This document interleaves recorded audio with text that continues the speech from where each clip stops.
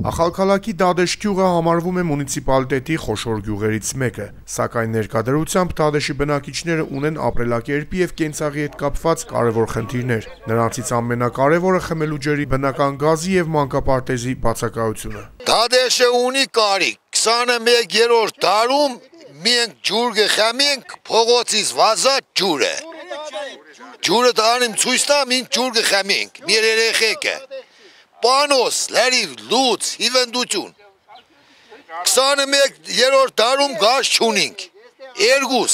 Ճամպեկը դու ինքնիդ տեսնիր կանեә ճամպեկը: Դիմաց էի ամեն ինչ ներած ու կանաչման կառնեինք կեշտ տան հեշտ մեկնե չընենե: Երկու ամիս, երեք ամիս առաջ ասել ենք էլի: Չընեմ, կենինք, եբ տենիմ: Հլը ջուր կխմեն մեր երեխեքը: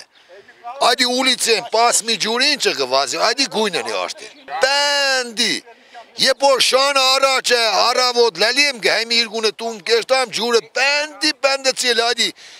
բան է դարձե խոզի գլոխն որ դնեն բան կեպեն: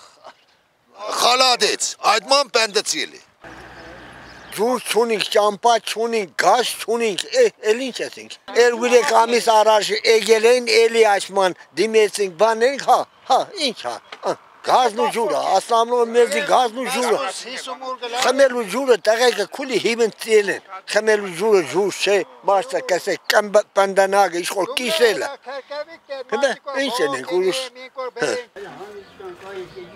Դադեշի բնակիչները օրից օր անհամբեր սպասում են գյուղի կարեւոր խնդիրների լուծմանը: